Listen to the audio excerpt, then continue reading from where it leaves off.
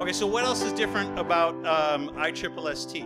Never mind the papers. I'm getting the most positive feedback about the menus. We're changing the menus at the symposium. This is Amy Landis's idea, and I can say it was Amy Landis's idea because uh, so many people so far have decided that they like it.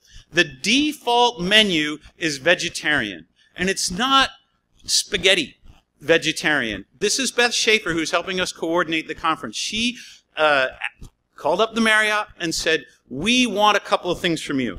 One of the things that we want is we want to make sure there is no bottled water anywhere near our participants. They can drink the tap water from the pitchers. I see somebody's enjoying that fine Cincinnati uh, Public Works uh, water right now. The other thing that we want is we want the default menu. This is Thursday's lunch menu, and by the way, it looks delicious. We want it to be vegetarian. They sent back a bunch of pasta dishes, and Beth said, that's not good enough for our crowd. They don't have these vegetarian dishes on the menu.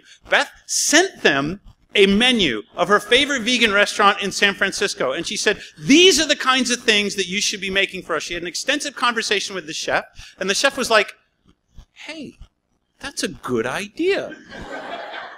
Then I said, but Beth, we must, you know, my son, he's 17, he lives on nothing but hamburgers. We must, you know, accommodate the, there must be an opt out, right? If you want meat, you can have meat, and we will accommodate you. So far, three people are going to eat chicken.